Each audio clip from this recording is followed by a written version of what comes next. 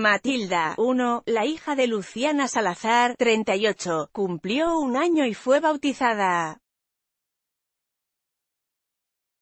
Lo curioso fue que, después de ser salpicada con agua bendita, la nena empezó a caminar por sus propios medios. Fue una ceremonia muy emocionante, contó Marcelo Polino, 54, el padrino de la bebé, en Implacables, sábados y domingos a las 20, por el 9.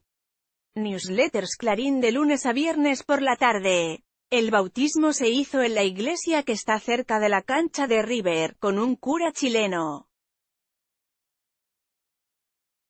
La nena se portó divino.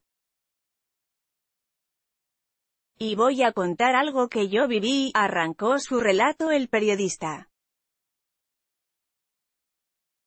Y siguió, antes del bautismo, yo la cargaba a Luciana, le decía que la nena tenía que empezar a caminar, porque si dependía de que nosotros la levantáramos, que pesamos 20 kilos mojados, no iba a poder ser. Luego, dio más detalles, lo mejor fue que, después de que el cura la bautizó, la nena empezó a caminar. Antes de eso, se apoyaba en los bancos, se caía. Fue como un milagro. Flavio Mendoza con su hijo Dionisio y Luciana Salazar. Móvil Press todavía conmovida por lo que había pasado en la iglesia con su hija, luego Luciana sumó, fue increíble.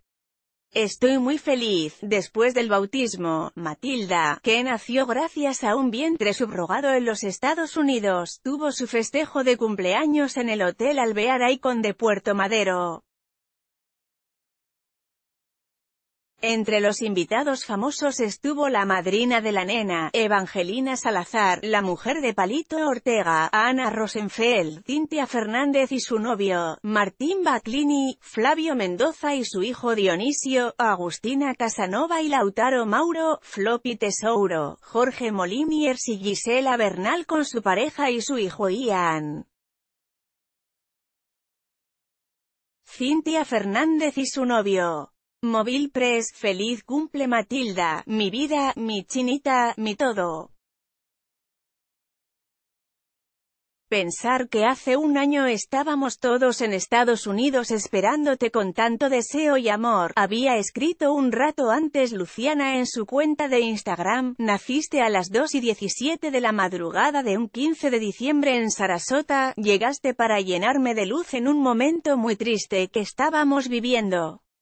Algún día mamá te contará esta historia, tu historia, agregó.